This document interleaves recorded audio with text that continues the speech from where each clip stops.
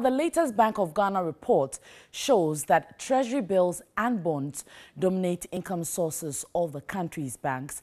The report revealed that this component of income increased from 42.9% in October 2018 to 44.8% in October 2019. The Bank of Ghana's industry report showed that income from investment made up of bills and securities reached 47.47 billion cedis in 2019 as against the 42.84 billion cedis recorded in 2018. Of the 47.47 billion cedis, treasury bills which mature in a year or less was 16.47 billion cedis in October 2019 from the 14.81 billion cedis in the same period 2018. According to the central bank's latest report on the banking sector, securities which refer to stocks or investment in companies and bonds which usually mature after 10 years and above gave banks 30.99 billion cedis in 2019, a rise from the 28.02 billion cedis in 2018.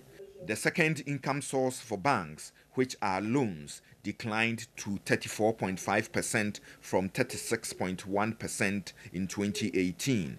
Director of Business Operations at Dalex Finance and Leasing Company, Joe Jackson, explained the situation is as a result of the fear and panic that occasioned the financial sector cleanup. At the bottom of the pyramid, with the SMEs, with the micro businesses and the like, nobody is lending.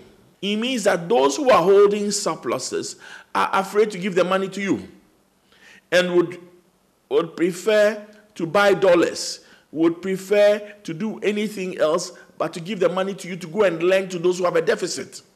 Chief Operations Officer of Enterprise Risk Management and a banker, Samuel Nita Kirilberg, ties it in with the risk factor. Indirectly to government will be to finance projects and contractors. That will be indirectly. Every bank will want to make maximum benefit from whatever facility they give. But the point again, like I'm saying, is because a lot of people at the end of the day will not want to pay the loans. Treasury bill is maybe 15%.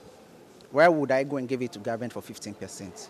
The only reason why I will go there is that it's more safe. The third largest income source for the banking industry was fees and commissions, such as charges on ATM cards, checkbooks, and account maintenance fees. These represented 12.3% of total income in October 2019, down from the 12.7% recorded in October 2018.